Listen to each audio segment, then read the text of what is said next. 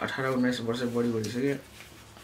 माया प्रेम भन्ने कुरा मलाई त्यति लाग्दैन त।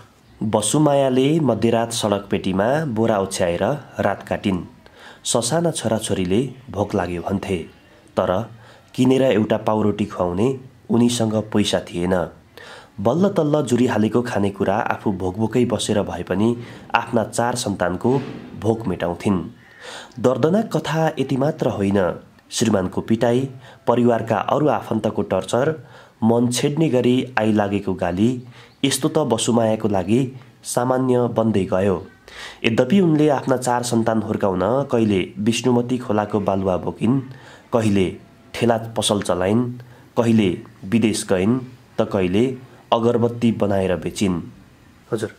जस अब आफ्नो उसको लाग्दैन तर अब दिन दुखी गरिबहरूको लागि त फेरि अब म एकदमै नै गर्छु। समाजसेवी हुनुहुन्छ विभिन्न ठाउँमा सहयोग लिएर नि पुग्नुहुन्छ होइन? हजुर। पुग्यो दुई तिन ठाउँतिर। त्यस्तो कुनै सामाजिक कार्य गर्ने अर्को संस्था पनि जन्माउँ भन्ने त्यस्तो केही सोच छ हजुरको? छ छ त्यो चाहिँ। त्यो चाहिँ छ। हजुर। अब भर्खर त मैले अब यो यति जोडेको छु होइन? हजुर। अनि अब अझै साथ दियो भने भगवान्ले साथ भगवान्को कृपाले साथ दियो भने छुट्टै बिल्डिङ बनाएर हजुर। अम्, वृद्ध आमा आमा- बुवा आमा र अनि जुन अनाथ गरेर हिँडेको तिनीहरूलाई चाहिँ राख्ने मेरो सोच छ। हजुर। त्योलाई चाहिँ अब कसरी हुन्छ म त्यसलाई चाहिँ विस्तार गर्छु भन्ने पनि विचारमा छ। वैवाहिक जीवनभन्दा अघिको कथा समेत पीडादायक छ उनको।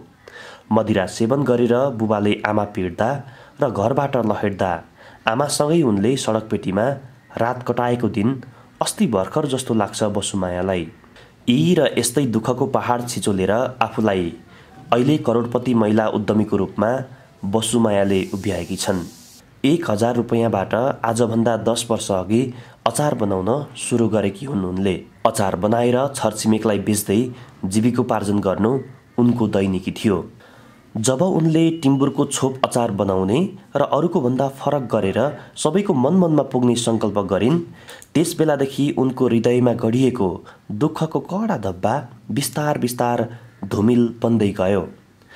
अचारले स्वदेशी बजार मात्रै नभएर विदेशी बजारमा पनि उपस्थिति जनाइसकेको छ। अहिले बसुमायाले चौवालिसजना भन्दा बढीलाई रोजगारी दिएकी छन्। अधिकांश गृहिणी महिला लगायतले रोजगारी पाएका छन्। अहिले बसुमायालाई चेक र बिलमा हस्ताक्षर गर्न भ्याइ नभ्याइ छ। नेपालको सबै जिल्ला र विभिन्न देशमा नेपाली मन उद्योगको शाखा खोल्ने उनको सपना छ। सुन्दा एका देशको कथा जस्तो लागे पनि यो बसुमाया तामाङको वास्तविक जीवन भोगाई हो। यो अचारमा के के मिसाउनुहुन्छ अघि भन्न बिर्सिएछ होइन? यसमा त ऊ टिमुर हाल्ने लसुन हाल्ने खुर्सानी हाल्ने अनि मस्टर्ड तेल र अनि विदेशको लागि सनफ्लावर युज गर्छौँ। ए हजुर। विदेश पठाउने कसरी? बाई कार्गो अनि बाई सिप गर्छ। सिपबाट लानेहरू चाहिँ पार्टीहरू आफैले लैजान्छ अनि कार्गोहरू चाहिँ म आफैले गर्छु हाम्रै कार्गोबाट गर्छु मैले कार्गोबाट पठाउँछु। हजुर। अनि हाम्रो ल्याब टेस्ट गरेर होइन क्वारेन्टाइन लिएर पठाउँछौँ। ए अहिले कति वर्ष आउनुभयो हजुर भन्न मिल्छ? मिल्छ हजुर अडचालिस वर्ष भयो। हजुर एकदमै। युवा उद्यमी भन्न मिल्दैन होला। युवा उद्यमी भनौँ किनभने नेताहरूलाई साठी सत्तरी कटे पनि युवा नेता हुन्छन् युवा होइन? भन्ने युवा महिला उद्यमी होइन हजुर?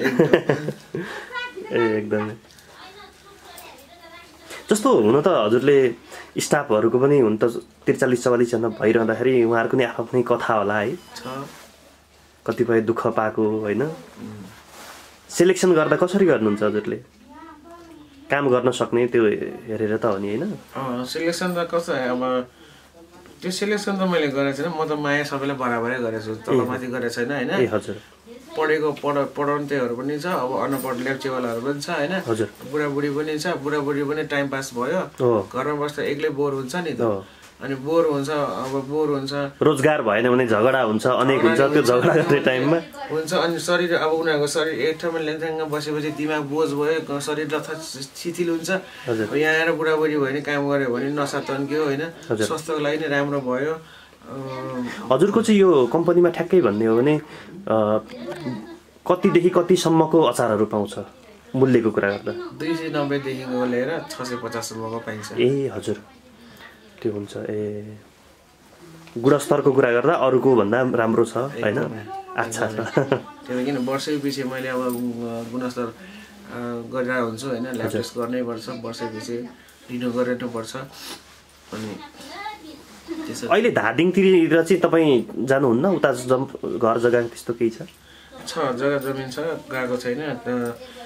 त्यही त व्यस्तताको कारण तर अब अहिले बारीमा टिम्बर खेतीहरूमा आफै गर्नेवालामा छौँ। ए भ्याइसम्म त्यो उत्तरी भेग भनेको जुन जहाँ जन्मनुभयो त्यो क्षेत्र कहिले काहीँ पुग्नुहुन्छ?